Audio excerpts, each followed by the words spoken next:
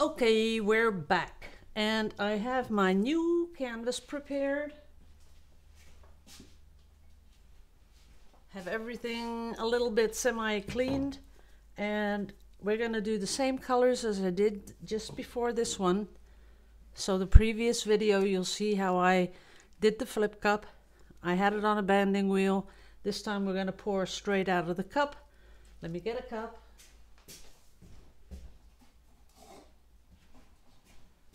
And I'm not going to be adding um, any extra silicone or whatever. I am going to be doing the same. Um, there's a lot of little things going on in, the, in that paint. I don't know how that happened. So we're going to be using exactly the same colors. This one from up high because I want it to mix right through. And the last one is the blue, which we're going to add from up high also, because we want it to be all through the painting. That's it. This time I am going to give it a little stir.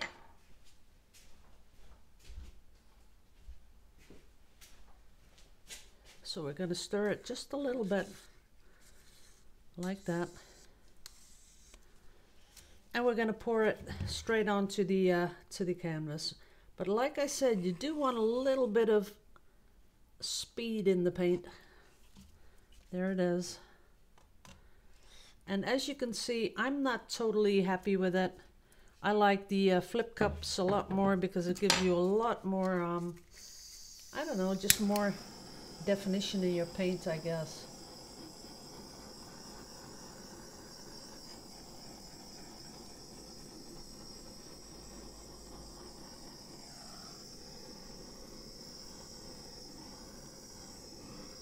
So we might be adding um, something to this one.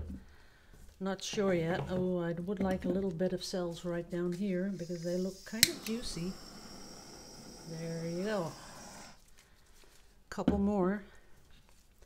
So first I'm going to let it come over the side there. Then I'm going to let it come over the side here. And pull it back because I want those nice big cells. I do like what's happening here. Then I'm to let it run down here. And run down this corner. Sometimes it goes fast, sometimes it takes a little time, so give it a little time to go over the side.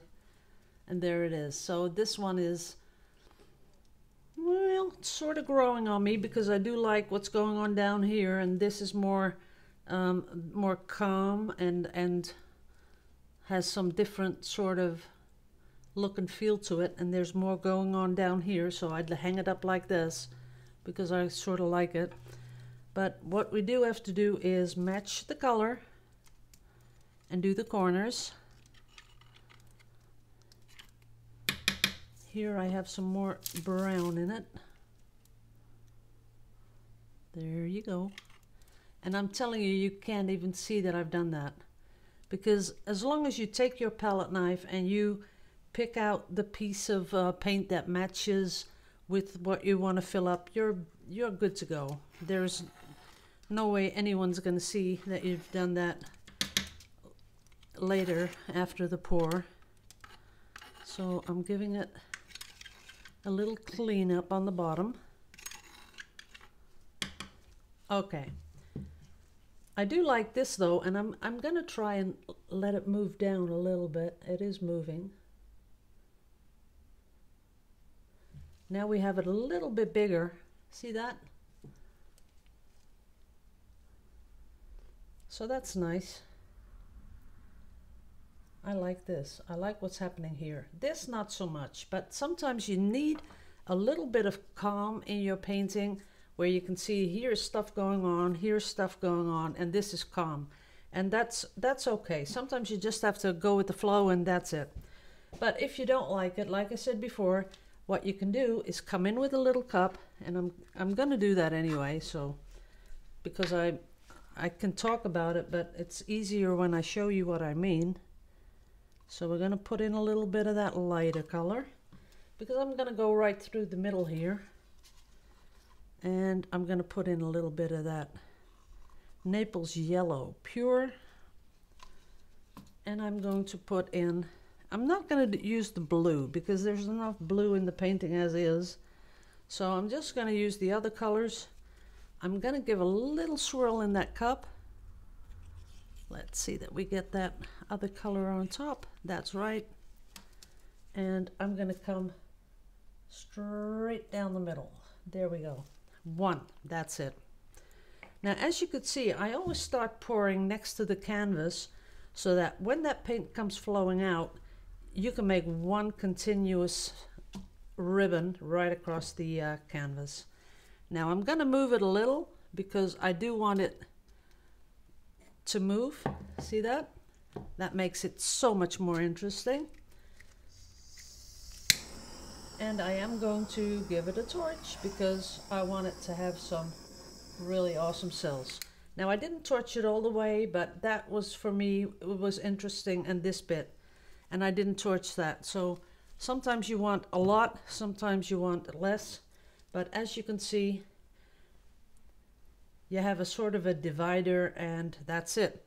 Now, if you're still not happy with this, that you made what you made, you can always do more to it.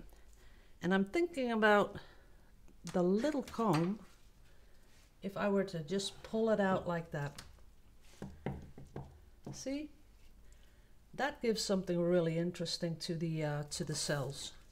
Now, if you want to do it again, you'll have to make sure that the comb is um, clean, and we could do another one down here, and that way it resembles some sort of a maybe an animal, something like a fish thing, or just a pattern. Who knows?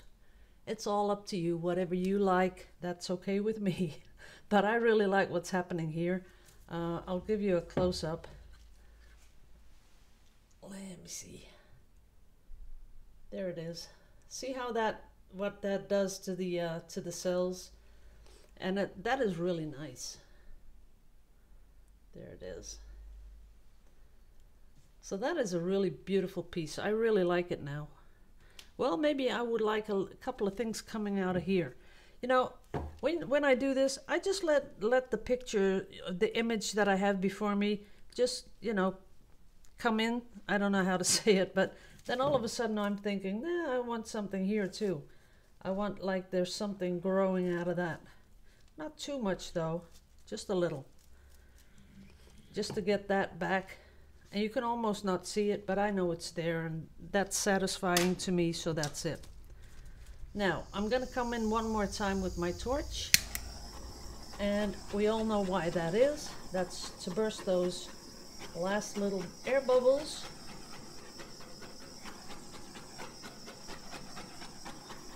And there will be a few more, and if you want to be really precise, then uh, after about 20 minutes, you come back with your torch, do it one more time, but you have to be, you have to do it really quick, like I'll show you. Um, it's about that far, and I just come down on it like that. And that's really enough to uh, burst the little bubbles. They're all, all burst by now. So in about 20 minutes, you could come back and do it again because there'll be a, a few other new bubbles coming to the top. But other than that, it's ready. That's it.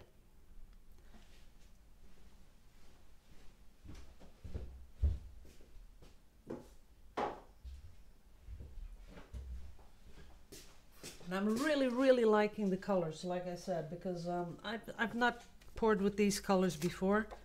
So right now, I'm to be scooping up some, making sure I get that lighter color in there also. And I still have some in my cup. So I'm to be pouring a little on, like that. Some on the side. Maybe a little more blue.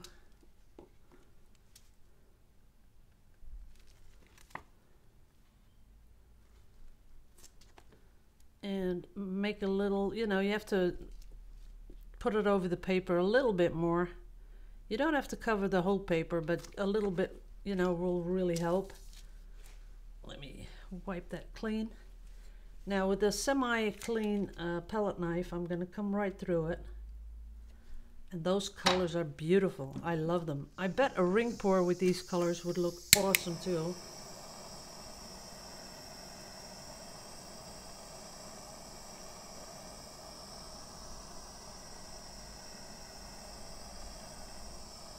Now this is uh, gorgeous. I love this. Look at that. Can you imagine making a pendant out of this middle bit? I'll get you real close. Wait a minute. Is that in focus? Yes, it is. Look at that.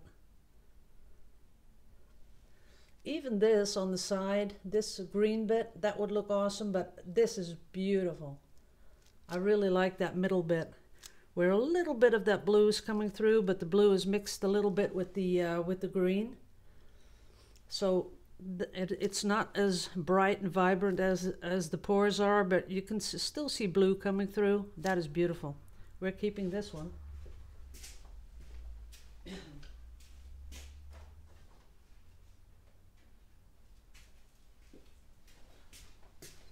Okay, now I'm going to come in with fresh paint. So I'm going to put a little bit of that lighter Naples yellow, a little bit of the darker Naples, the one that isn't mixed, then a really nice bit of that burnt umber, and as last we're going to put in that blue. And really now I really want turquoise because I think turquoise is going to look awesome in this.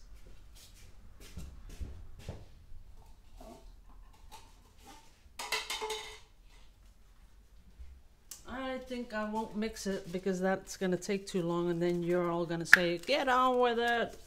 Just paint lady. So I'm going to put in, in this cup, uh, it's deep turquoise. This is the color, deep turquoise. The color number is 232 and it is an opaque color as you can see here.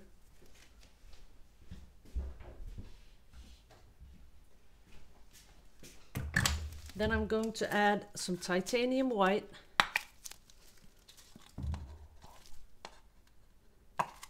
That's about enough.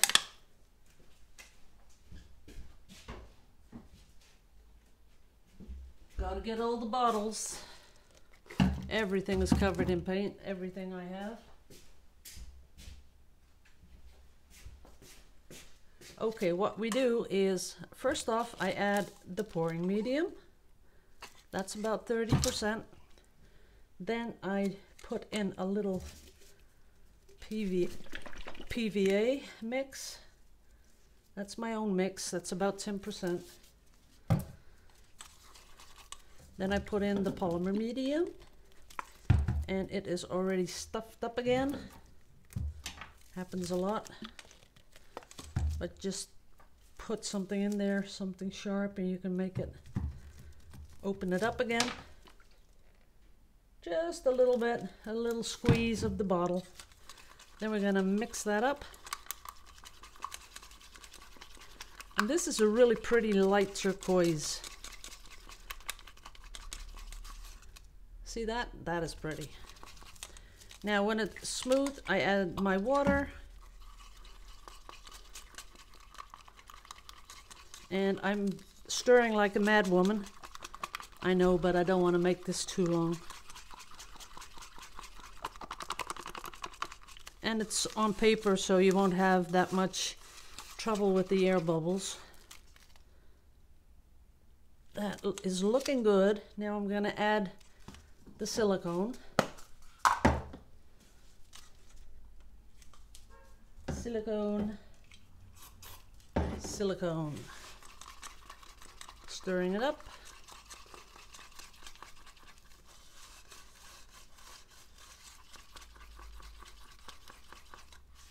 Let's see. Nope, too thick. A little bit of water. The thing is that if you add your silicone and after that you add, uh, you have to add some more water, then your silicone is going to get really smushed in there. So, uh, but that doesn't matter because the other paint has a silicone also. Okay. Using the dirty stick doesn't matter because it's all the same. But we're going to stir it up. Get the little bit of photo paper.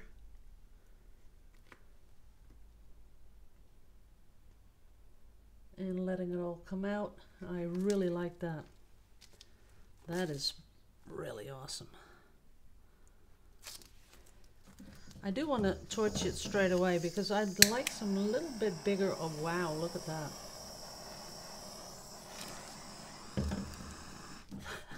that is awesome. I really like that. But I want to keep a lot of it. Oh boy. I think I have to make a picture of this because this could be some really, really cool print. That is beautiful right there. I'll give you a close-up.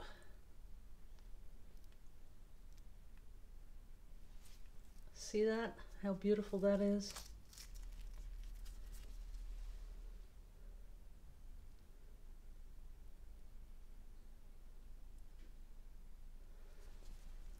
Oh, I don't want to do anything to it. That is, this is just too pretty. Let me just pour it down a little so this gets bigger.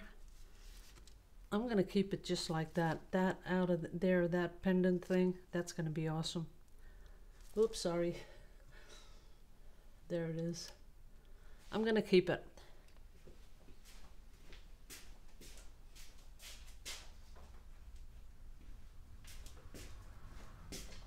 Okay, gotta do one more. Sorry about that, but gotta do it. So we had that really beautiful turquoise color.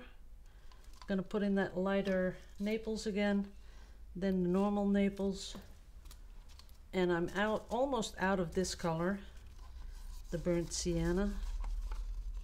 But we have to have it in there because it looks so good. And the blue and we're going to give it a little mix. But I also want a little bit more, nah, let's just pour it. Look how that looks. That is delicious.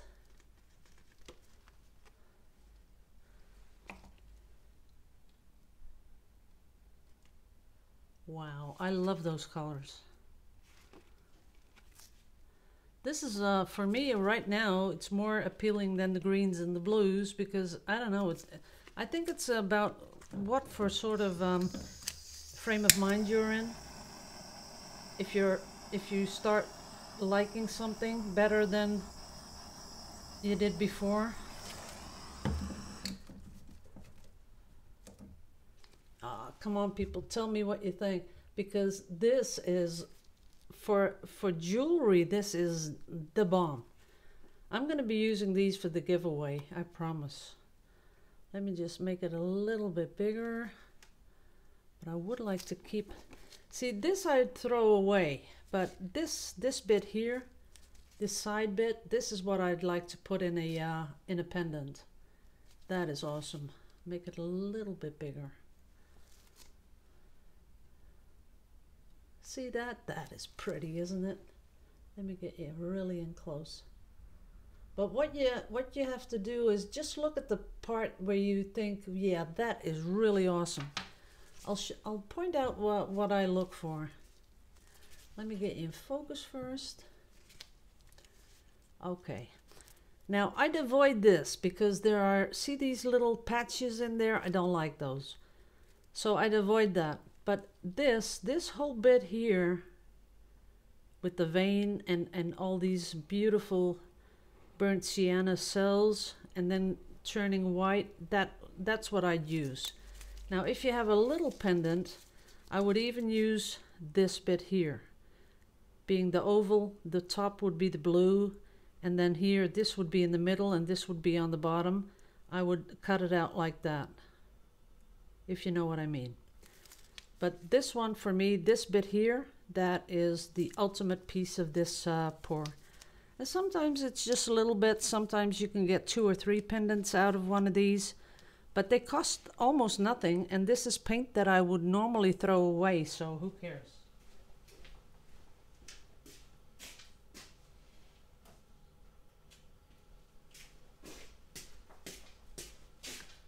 Okay, just one more.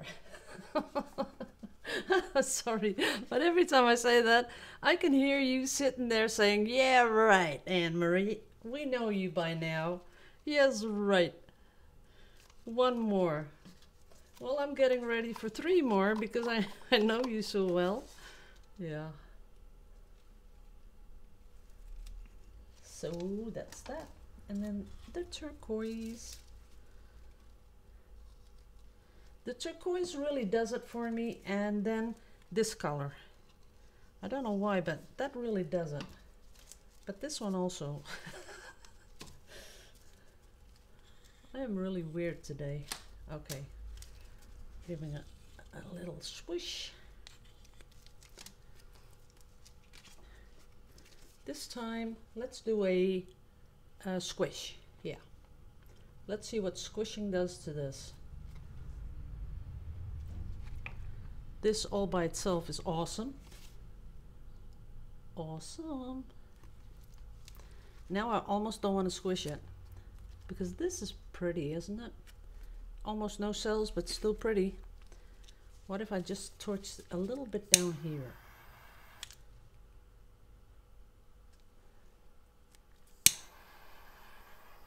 Nah, let's squish it. I do like that though. Okay, here we have the paint. We're putting an, another one on top. And of course you want to press it down that some of the paint's going to come out. And then open. And I'm taking this one first because it has a little bit more color.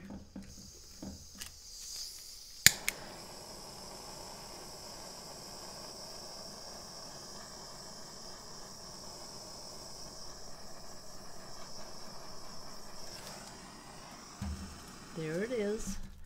It's a little bit more of a, um, a chaotic sort of a pattern. You can see the difference with squishing and just doing the palette knife, the, the swipe. It's a little bit more chaotic, but okay, we'll, uh, we'll see how it dries, right?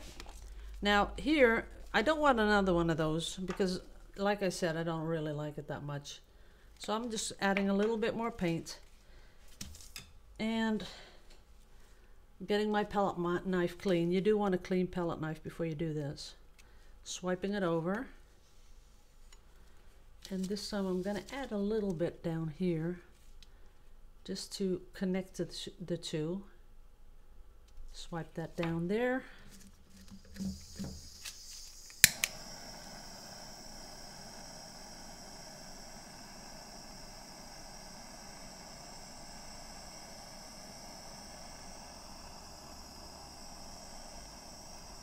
And this time really, really slow torching.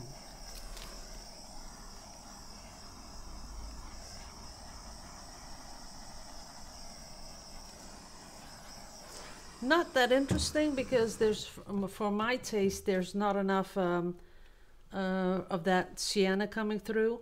But I would like maybe that little bit, that bit up there. And for people that really like lighter colors, let me get you in focus. See, this is pretty.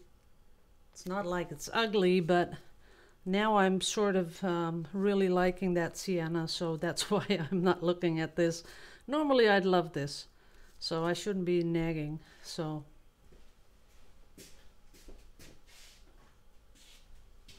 And because I still have some in the little cup with a lot of that sienna, I am going to use it. So we're going to put it on here. Make it come out. I'm going to put it on the cup for just a bit because I want to scrape out the rest of the color.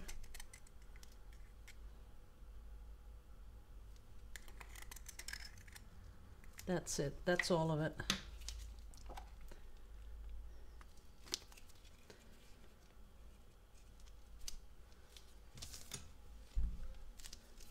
Okay, let's come down here.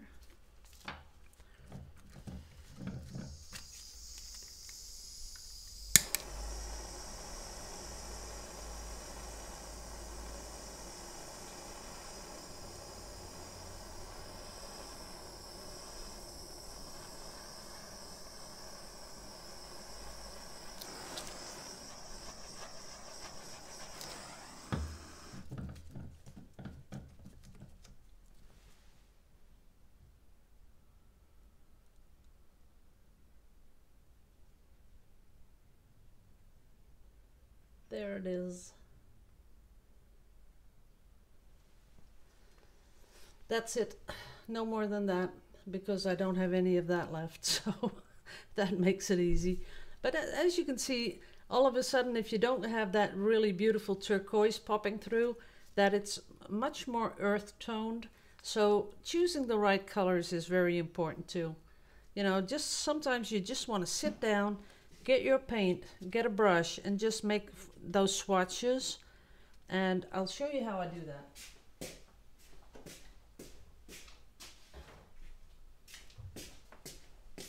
Now, if I were to be um, choosing new colors for a really big piece or something like that, you know, you don't want to just guess colors. So what I do is take some, put them on there, put that color next to it, put that color next to it, that one, and that one. Now, when you have something like this, you can imagine how it's going to look because, you know, you see them together, you can imagine the cells and the popping through of colors. So before you do all the, you know, you've seen me in the in the in the past, you've seen me uh, mix up colors and sometimes not use one color because while I'm put the, putting them together in the cup, all of a sudden I'm thinking, nah, I don't like that color.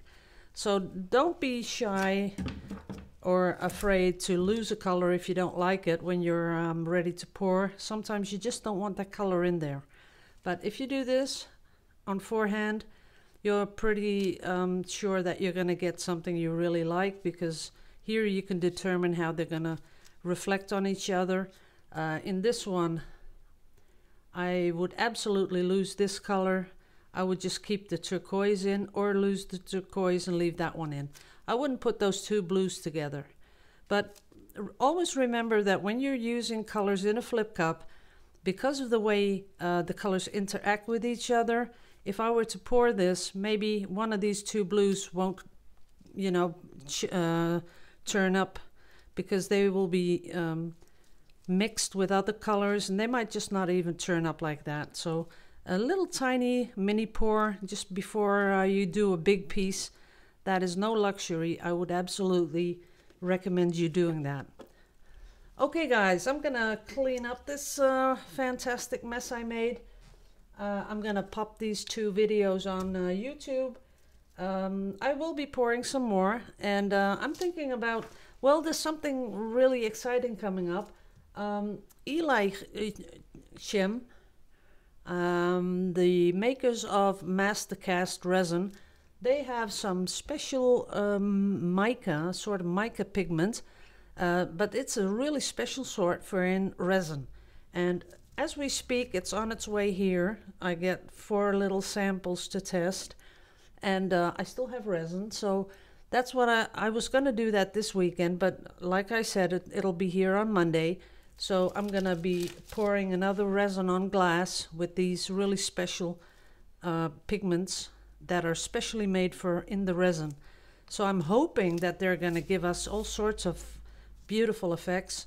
I'm looking for cells, I'm looking for, for lace, I'm looking for anything that really makes a resin piece pop, right? So you, whatever happens, that's what we're doing next week. So um, I'm going to clean this all up. I might do a resin piece because I have a lot of glass, so I might do another resin piece tomorrow. Uh, I think I might because I'm sort of, mm, you know, pulled back into resin. All of a sudden, I like it again. There was a time when I didn't like it because it's too sticky and too yucky. But if you really prepare your surface that you can, you know, fold it all up and throw it away, it's okay. So we're to do that tomorrow. So love you all to pieces. Liebe euch alle. And hou voor jullie allemaal. See you in the next video. Love you. Bye-bye.